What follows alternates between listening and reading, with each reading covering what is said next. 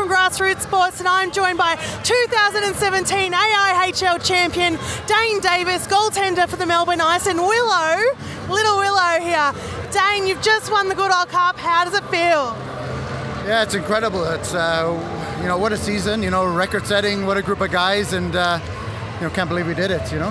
And this is your third Goodall Cup in a row, two with Newcastle North Stars, one with the Melbourne Ice. You are hot property, man.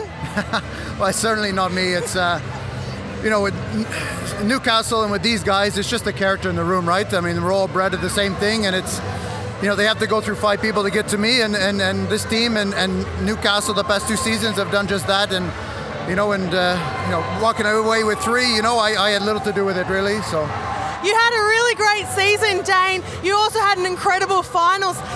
Did you feel like you were, you know, at the top of your game this year, or tell us a little bit about your goaltending?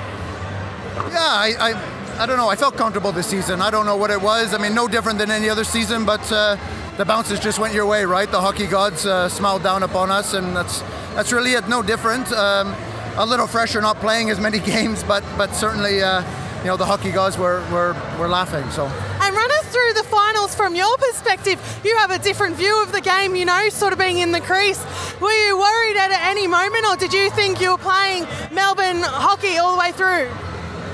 You're always worried. I mean, yesterday when you have Berkey and and Parent and those guys coming down at you, and then you know look at the lineup today with Canberra. I mean, I mean, uh, top to bottom, they have dangerous guys from start to finish. So I mean, we stuck to our game plan. Our game plan uh, obviously worked, but. Uh, always nervous. When they get the puck in our zone, you're always thinking about what could happen because you know they're creative and they'll find a way. So. Wonderful. Well, thank you so much, Dayne. I'll let you get back to celebrating. Congratulations again.